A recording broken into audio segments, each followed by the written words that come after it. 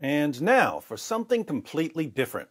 Alex Kubrick writes Hi, Dr. Wood. I would like to ask you for a favor, and I am sure that you are a great man, and you will accept it just for the sake of your Lord, Jesus Christ, Son of Mary. Can you please make one short video, one little short video, one minute at least, about some great things Muhammad did? I am sure he did great things. Be a human for once. I don't know if Alex is a Muslim. He's a fan of several Muslim channels, but since he asked nicely, and I'm in a giving mood, I'll share three great things Muhammad did.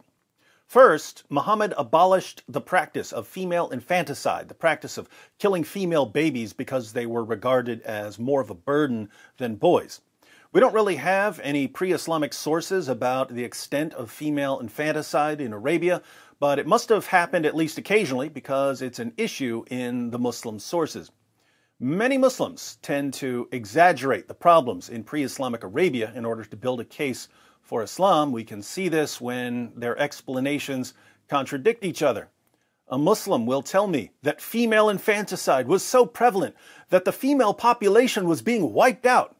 When I ask the same Muslim why the Quran allows polygamy, he'll tell me that there were so many women in society that each man needed to marry multiple wives because there weren't enough husbands to go around. But inconsistency aside, female infanticide was a huge problem in the Roman Empire. Christians abolished it. So, whatever differences we may have with Islam, we can still applaud Muhammad's condemnation of female infanticide. We're on the same page with our Muslim friends on that issue. Second, Muhammad affirmed the inspiration, preservation, and authority of the Jewish and Christian scriptures. Muhammad had an extremely high view of scripture and of God's ability to preserve it. According to Muhammad, the Jewish and Christian scriptures were revealed by God. They were perfectly preserved by God. Jews and Christians still had the perfectly preserved Word of God during the time of Muhammad, and we know what they had because we have copies of our scriptures from before this time and after this time. According to Muhammad, Jews and Christians don't even need the Quran because we have our own scriptures from God. The Quran commands Jews and Christians to judge by our own scriptures, not by the Quran.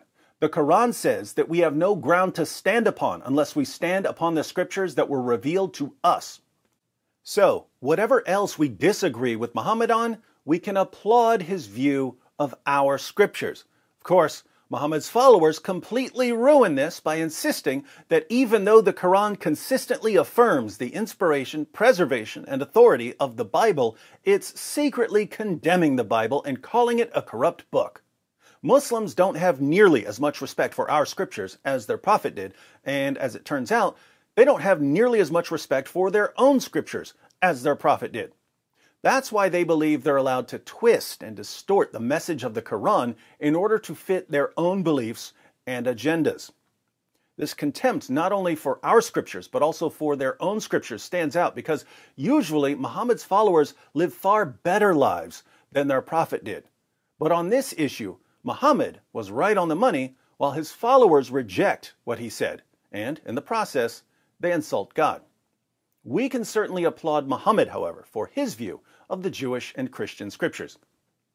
Third, even though Muhammad was the most obvious false prophet in history, I like the fact that he gave us everything we need to prove that he was a false prophet. He won followers by robbing caravans and conquering cities and dividing up the spoils with those who fought for him, and by promising them an eternity of deflowering virgins in paradise. But he also gave arguments that were supposed to prove that he was a prophet of God.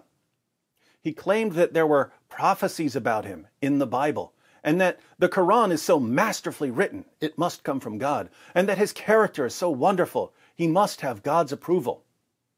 In reality, the Bible calls Muhammad a false prophet.